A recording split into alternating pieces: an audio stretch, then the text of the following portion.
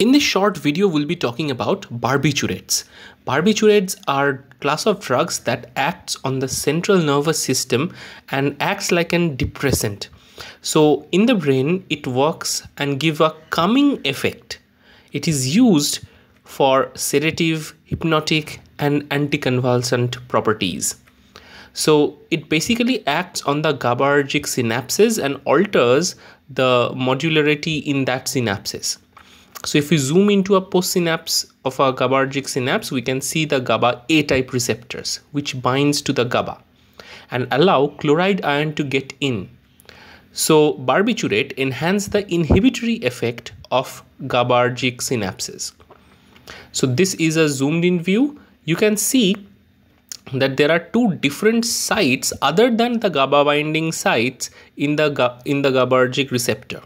So this site in orange which is in the interface of alpha and gamma subunit is a ben benzodiazepine binding site and the interface between alpha and beta subunit is the barbiturate binding site.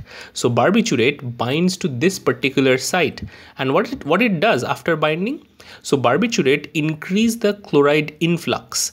Um the way it increase is basically it allow the channel to be open for longer time so the influx duration of the chloride is increased due to the channel opening time. This is very different from the benzodiazepine which increase the frequency of opening but does not change the duration. In this case barbiturate change the duration of opening. So as a result of too much chloride ion getting in the action potential firing probability is decreased at the postsynaptic level. So in the post synapse, if we look at the membrane, it becomes slowly more negative. That means hyperpolarized. So that leads to uh, reduced possibility of uh, uh, uh, firing an action potential. Okay, so let's talk about the usage of barbiturates. So it could be used as sedatives. So barbiturates like phenobarbital were historically used to sedate people.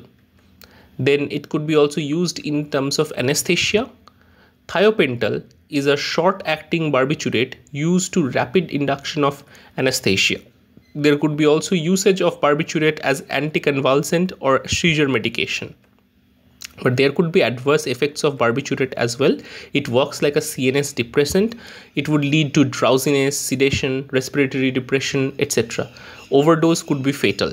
Then there are uh, dependence of uh, barbiturate that can grow. That could lead to some sort of like addiction as well as uh, there are other problems such as drug interactions. Barbiturate can induce hepatic enzymes such as C, uh, CYP450 leading to accelerated metabolism of many other drugs. So it changes the pharmacokinetics of the drugs in the body. So it has to be carefully taken with the advice of a, a clinician.